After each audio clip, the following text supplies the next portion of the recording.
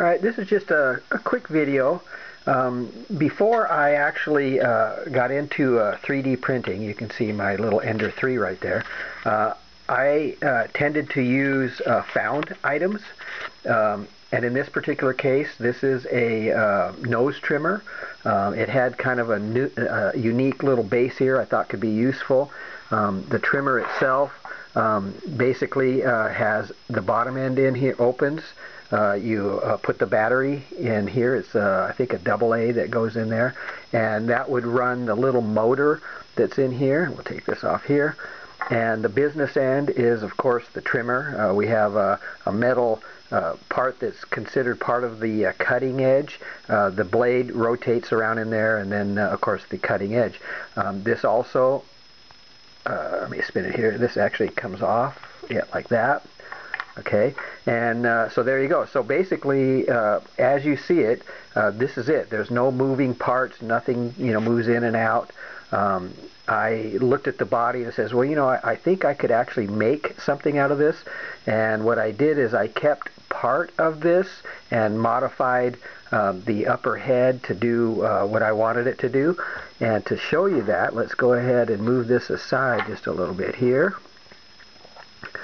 and bring into view the prop. So as you can see uh, right here is I am using the uh, the original body, the stand itself right here.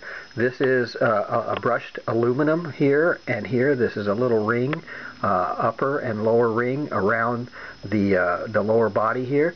And to give it some sense that it is actually actually actually functional. Uh, you can see a little light there.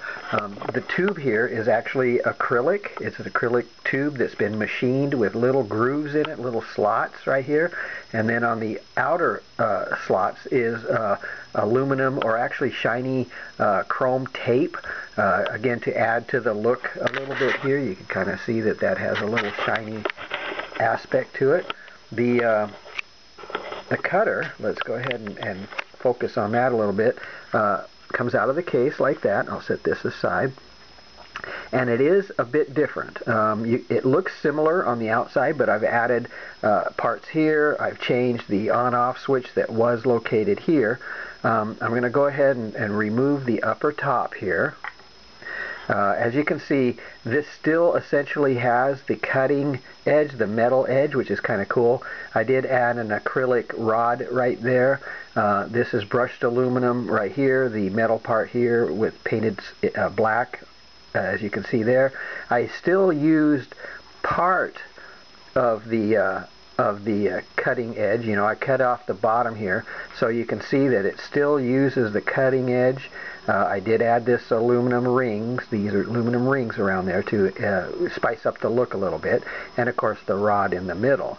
Um, so that that was still used. This is an aluminum ring around here that holds the entire piece in place. There's some uh, little bitty uh, Allen head uh, uh screws right here, uh, right there. They're little set screws that hold that in place. Um, I'm going to go ahead and show you how this functions.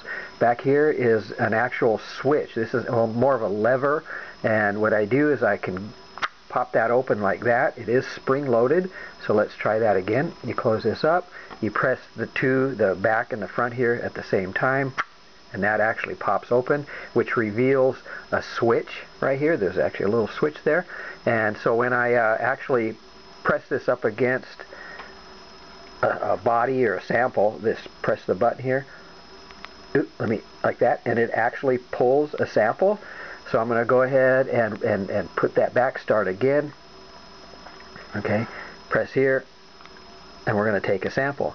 Now to inject the sample, you actually just turn this one quarter turn, and then you press that up against there, and let's do that again, and it re- injects. So you turn it one way, like this, and it takes a sample, you turn it back a quarter turn, and it releases. So you don't necessarily have to have it pushed up against anything, but it gives the impression that it's pulling a sample. So I'll show you here, we turn this this way, we hit the button, it pulls, release, and it goes back in. So like that. Now to show where the power supply is, this portion here actually is held on right there by a magnet. So basically that just pops into place and that closes like that. We hit the button here, that pops open like that. So this portion back here it was was added by me. Uh, again, as I showed earlier, there's no moving parts in the back area as it came. So uh, this part here, it was essentially all modified. So I would, looking at this, all of this is gone. Uh, I needed it to be hollow enough to accept the uh, the battery portion here when it closes. So I'm going to go ahead and show you that that actually locks into place like that. You hit the button and that pops open just like that. So you go like that. The case goes back on there. Boom, like that. You can take the case off here like that. Pop that open like that and it reveals the battery. So you can change out the battery and do whatever's needed. It's a small little 12 volt battery.